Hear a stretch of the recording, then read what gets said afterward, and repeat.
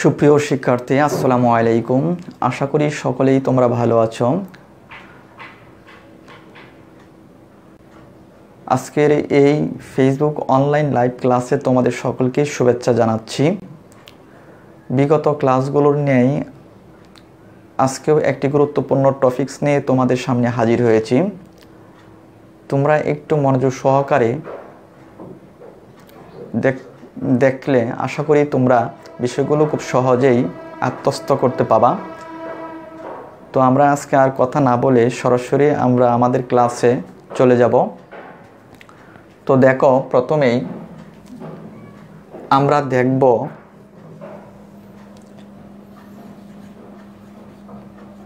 পুনবিন্যাস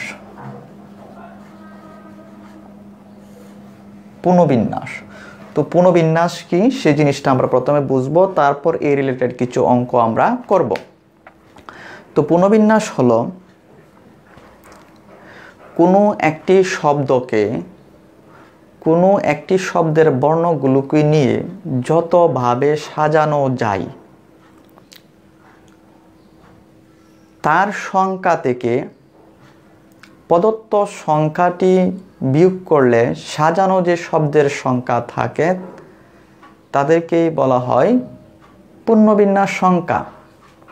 আমি আবার বলতেছি কথাটা, কোনো একটা শব্দের বর্ণগুলোকে নিয়ে যতভাবে সাজানো যাবে, তার সংখ্যা থেকে প্রদত্ত সংখ্যাটি বিয়োগ করলে প্রাপ্ত সাজানোর সংখ্যাকে বলা হয় পূর্ণবিন্যাস সংখ্যা।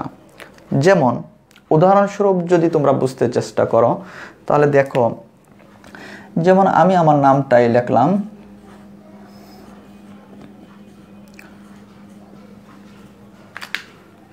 তৌফিক। তৌফিক শব্দটাকে তৌফিক শব্দের বর্ণগুলোকে নিয়ে কতভাবে সাজানো যাবে? তো এখানে আমরা দেখতে পাচ্ছি যে বর্ণগুলোকে নিয়ে আমরা শব্দ পাবো ছয়টা বর্ণ তো, ছয়টা বর্ণকে নিয়ে শব্দ পাবো ফ্যাক্টোরিয়াল সিক্স এর মধ্যে কোনো রকম বর্ণ, কোনো বর্ণ একই রকম না। তাহলে তার মানে আমরা বিন্যাস পাবো সাতশো বিশটি। অর্থাৎ এই শব্দটার মধ্যে ছয়টা বর্ণ আছে। ছয়টা বর্ণকে নিয়ে আমরা মোট কতগুলো শব্দ তৈরি করতে পারি? মোট সাতশো বিশটা শব্দ তৈরি করতে পারি।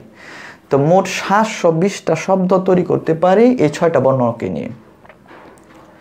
তাহলে এই ছয়টা বর্ণকে নিয়ে যেহেতু সাতশো বিশটা শব্দ তৈরি হয়, তার মানে সাতশো বিশটা শব্দের মধ্যে একটা শব্দ এটা। ছয়টা বর্ণ নিয়ে মোট শব্দ তৈরি হয় সাতশো বিশটা। তো ছয়টা বর্ণ দ্বারা যে সাতশো বিশটা শব্দ তৈরি হয়, সেই সাতশো বিশটা শব্দের মধ্যে এই ছয়টা বর্ণ দ্বারা এটা একটা শব্দ। এটা একটা শব্দ। তাহলে সাতশো বিশটা শব্দের মধ্যে এটা একটা শব্দ। তাহলে এই শব্দর সংখ্যাটা যদি আমরা বাদ দিই সাতশো বিশটা থেকে এই একটা সংখ্যা যদি আমরা বাদ দিই, তাহলে পাবো সাতশো উনিশটি। তার মানে এই শব্দে, এই শব্দটাকে আমরা পুনর্বিন্যাস করতে পারি সাতশো উনিশভাবে অর্থাৎ আরও ক্লিয়ার করে বলি এই শব্দটাকে, তফিক শব্দটাকে আমরা পুনরায় সাতশো উনিশভাবে সাজাতে পারি। পুনরায় সাজানো যাবে আর পুনর্বিন্যাস করা যাবে একই কথা। মানে তফিক শব্দটাকে আমরা মোট কতগুলো শব্দ তৈরি করতে পারি? তফিক শব্দটির মধ্যে যে ছয়টা বর্ণ আছে, এই ছয়টা বর্ণকে নিয়ে যদি আমরা সাজাই, তাহলে সাতশো বিশটা শব্দ তৈরি করতে পারি। তো সাতশো বিশটা শব্দের মধ্যে এই শব্দটা, ছয়টা বর্ণ দ্বারা এটা একটা শব্দ। তাহলে সাতশো বিশটা থেকে একটা শব্দ বাদ দিলে বাকি সাতশো উনিশটি শব্দ হবে পুনর্বিন্যাস সংখ্যা। কার পুনর্বিন্যাস সংখ্যা? এই তৌফিক শব্দের পুনর্বিন্যাস সংখ্যা। আশা করি তোমরা পুনর্বিন্যাস কী সেই জিনিসটা বুঝতে পারছ। তো দেখো, এখন আমরা এই পুনর্বিন্যাস রিলেটেড অঙ্কগুলো কিছু অঙ্ক আছে, আমরা সেগুলো করব।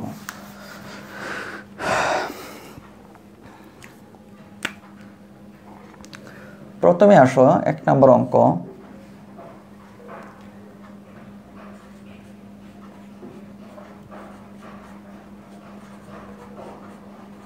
আমেরিকা আমেরিকা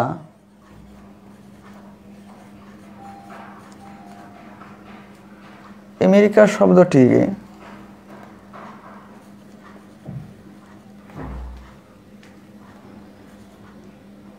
আমেরিকা শব্দটির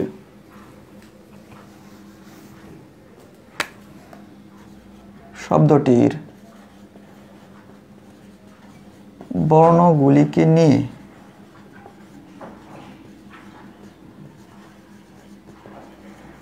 কতভাবে পূর্ণবিন্যাস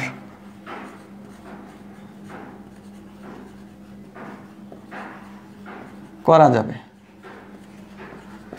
আমেরিকা শব্দটির বর্ণগুলিকে নিয়ে কতভাবে পূর্ণবিন্যাস করা যাবে? তো পূর্ণবিন্যাসটা কি? আমরা সেটা আগে বুঝছি। তাহলে আমরা প্রথম দেখব যে আমেরিকা শব্দটি কে মোট কতভাবে সাজানো যায় সেটা আমরা দেখব।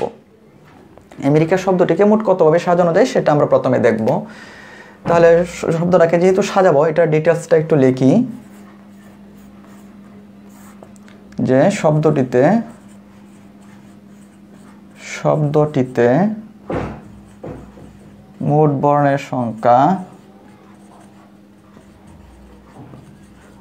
শব্দটিতে মোট বর্ণের সংখ্যা কত? সাত সেভেন এর মধ্যে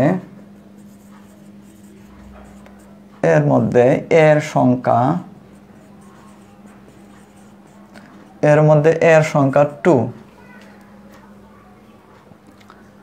এর মধ্যে এর সংখ্যা টু বাকি বর্ণগুলি ভিন্ন ভিন্ন।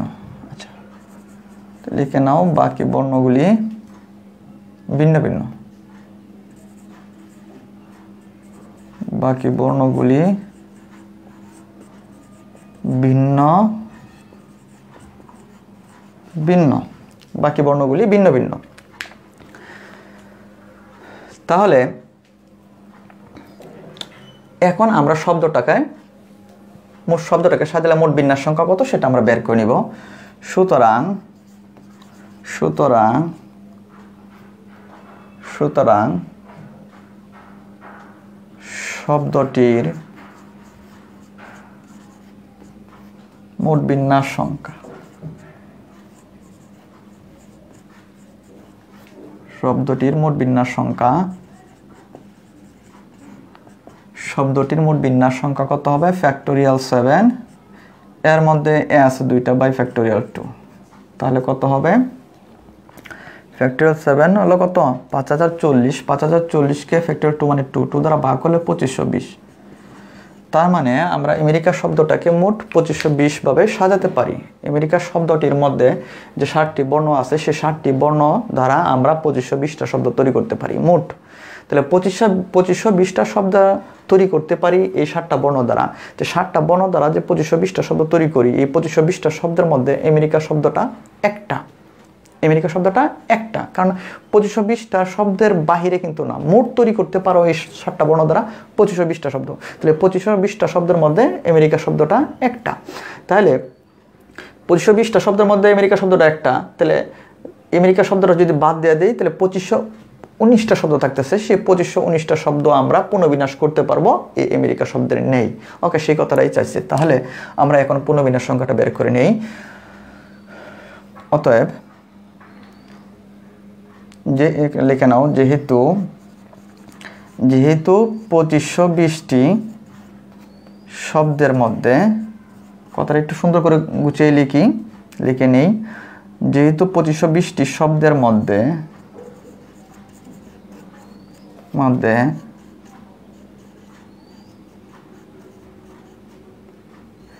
আমেরিকা শব্দটি নিজেই একটি একটি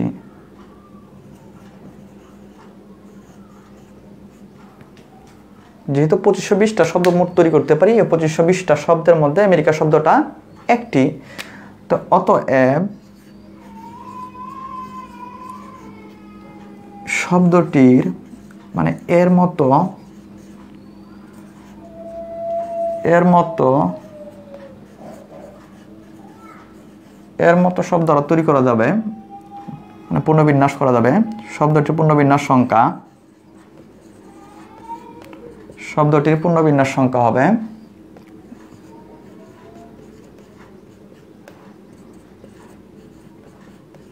এই। তাহলে আমরা দেখো, পেয়ে গেলাম আমেরিকা শব্দের শব্দটিকে আমরা পুনর্বিন্যাস করতে পারি পঁচিশশো উনিশ ভাবে। অর্থাৎ আমেরিকা শব্দের ন্যায় আমরা আরও পঁচিশশো উনিশটি শব্দ তৈরি করতে পারি।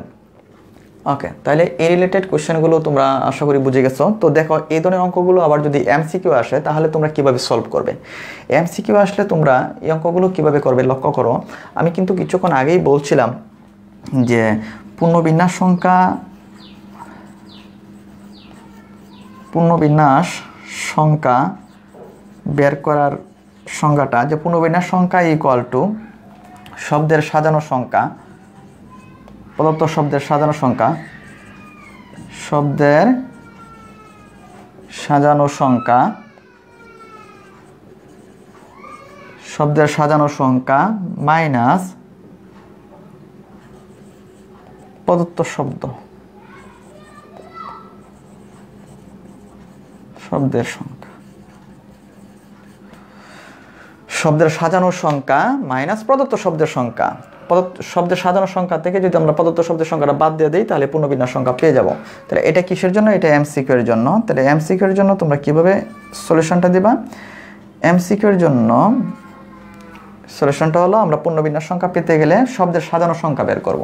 তো শব্দটা কি ছিল? আমেরিকা। আমেরিকার শব্দটার সাজানো সংখ্যা কত? ফ্যাক্টোরিয়াল সেভেন সাতটা বর্ণ আছে। এর মধ্যে এ আছে দুইটা বাই ফ্যাক্টোরিয়াল টু বাই প্রদত্ত শব্দ কয়টা? একটা। প্রদত্ত শব্দের সংখ্যা বাদ দাও। তাহলে আমরা পেয়ে যাব পঁচিশশো বিশ মাইনাস এক, তার মানে পঁচিশশো উনিশ। আমরা এভাবে এমসিকিউর জন্য এই ধরনের কোয়েশ্চেনগুলো সলিউশন দিতে পারি। ওকে তাহলে আমরা দেখলাম ডিটেলস পদ্ধতিতে কীভাবে কাজটা করতে হয়। এছাড়া এমসিকিউর জন্য কীভাবে এর আনসারগুলো বের করতে হয়। আমরা দুইটাই দেখলাম। এখন এই ধরনের অঙ্কগুলো করার জন্য তোমাকে কিছু অঙ্ক হোমওয়ার্ক দিয়ে দিব।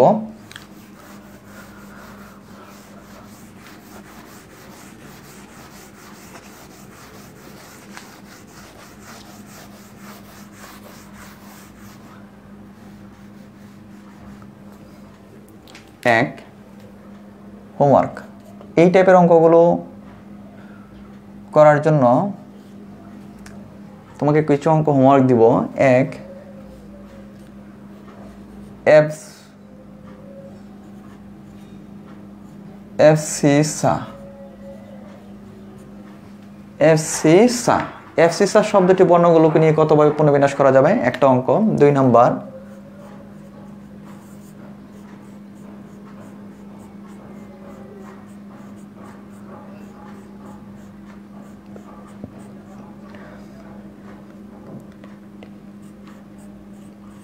ম্যাথমেটিক্স শব্দটির বর্ণগুলোকে নিয়ে কতভাবে পুনর্বিন্যাস করা যায়? এটা আরেকটা অঙ্ক। এই দুইটা অঙ্ক এই টাইপ থেকে তোমাকে এই দুইটা অঙ্ক হোমওয়ার্ক দিলাম।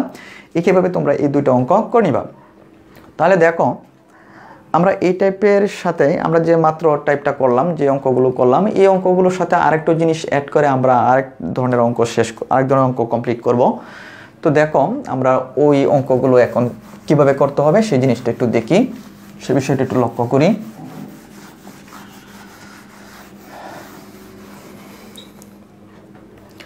কি এখন হবে দেখো?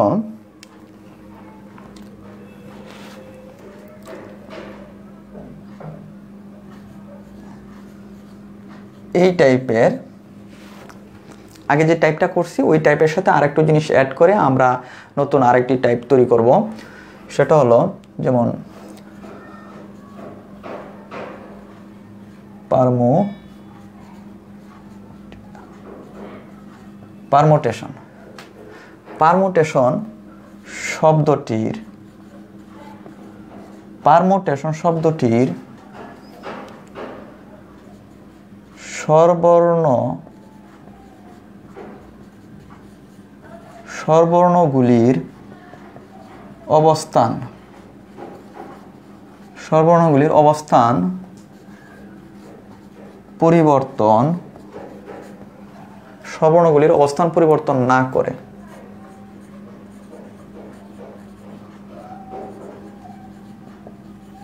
কতভাবে পুনর্বিন্যাস করা যাবে?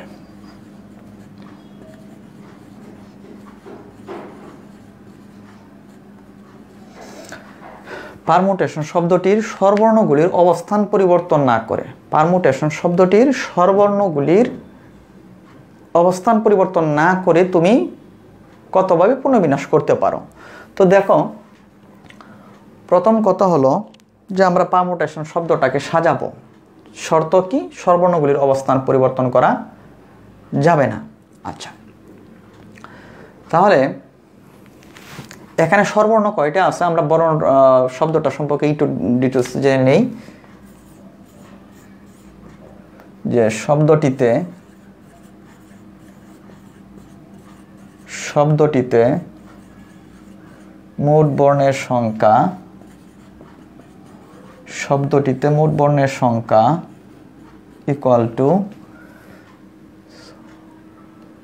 এলিভেন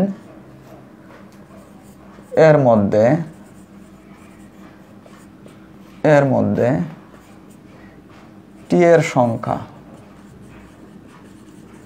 এর মধ্যে টি এর সংখ্যা টু এবং স্বরবর্ণের সংখ্যা।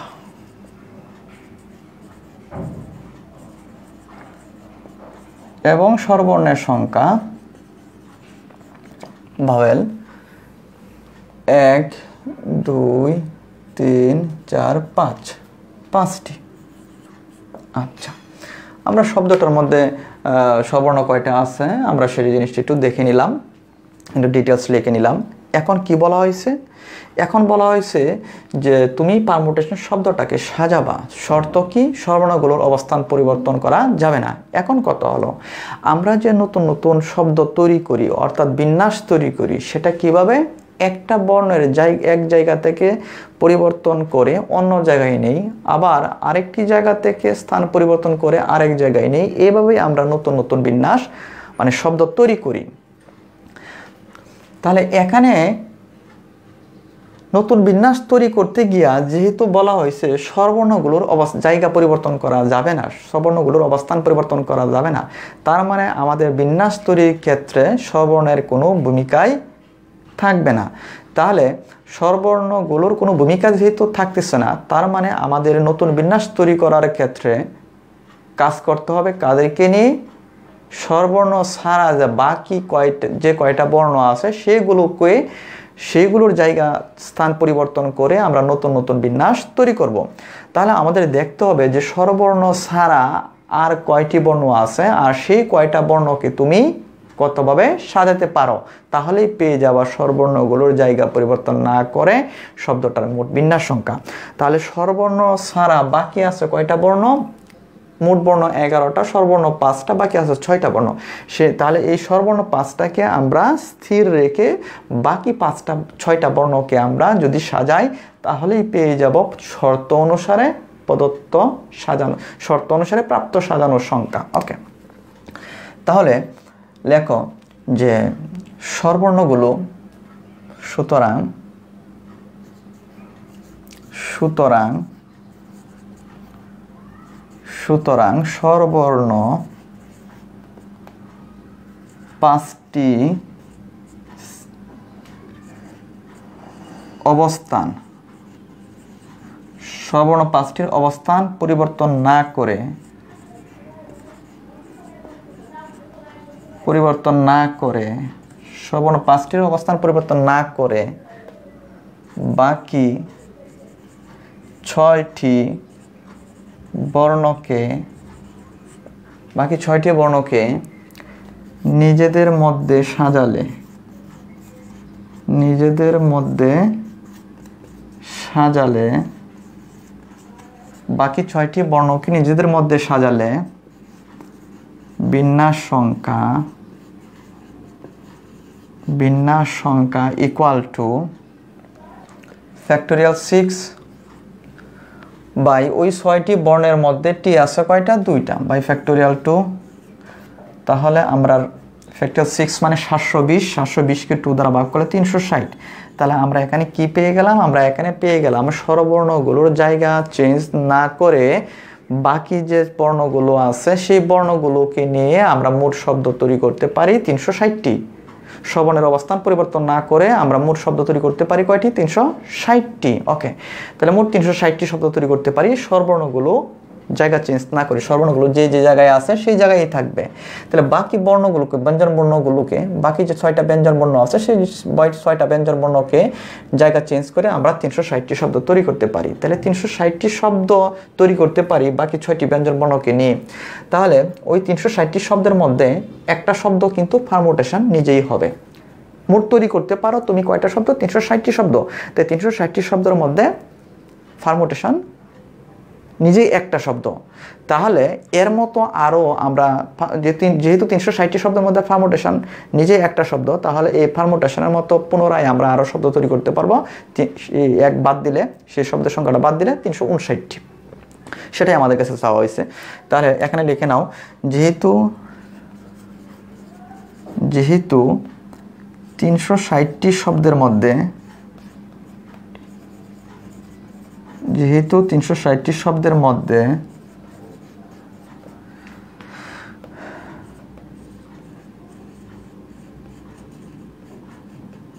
পারমোটেশন পারমোটেশন নিজেই একটি শব্দ।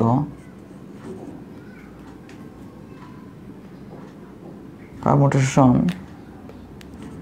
নিজেই একটি যে একটি অতএব সর্বনের অবস্থান পরিবর্তন না করে অতএব সর্বনের অবস্থান পরিবর্তন অতএব সর্বনের অবস্থান পরিবর্তন না করে শব্দটির পুনর্বিন্যাস সংখ্যা।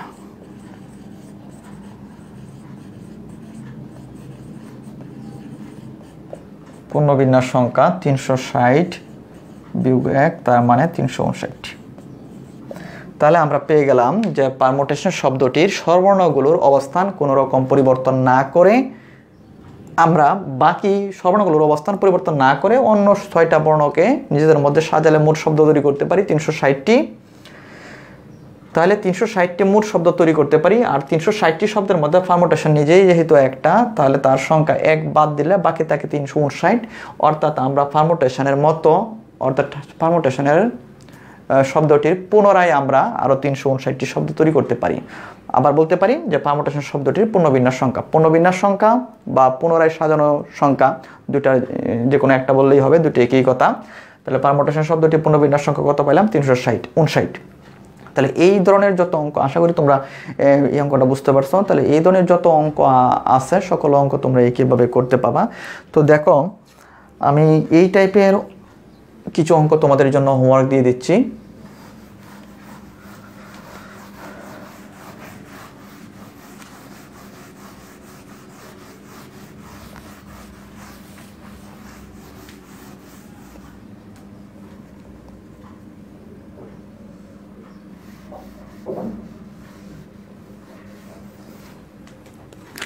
হোমওয়ার্ক, এই টাইপের অঙ্কগুলো যেন, যেহেতু তোমরা এই টাইপের অঙ্কগুলো মধ্যে এই অঙ্কটা করলাম, তোমরা ভালো করে বুঝতে পারছ, আশা করি। তাহলে এই জাতীয় অঙ্কগুলো তোমরা বাসায় প্র্যাকটিস করার জন্য আমি আরও কিছু অঙ্ক দিয়ে দিচ্ছি। তার মধ্যে একটা হলো যে কম্বিনেশন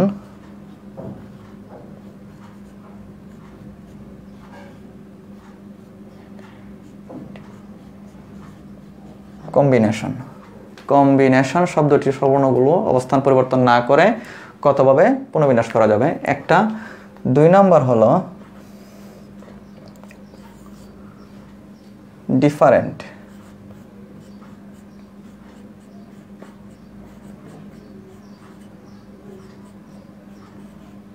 ডিফারেন্ট। ডিফারেন্ট শব্দটির সবর্ণগুলোর অবস্থান পরিবর্তন না করে কতভাবে পুনর্বিন্যাস করা যাবে? এটা আরেকটা। তিন নাম্বার